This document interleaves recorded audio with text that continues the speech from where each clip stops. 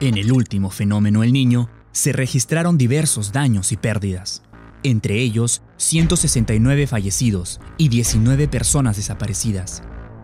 No dejemos que esta historia se repita. Por eso, participa este miércoles 27 de septiembre a las 10 de la mañana del simulacro nacional ante lluvias intensas y peligros asociados. Compunche Perú, Gobierno del Perú.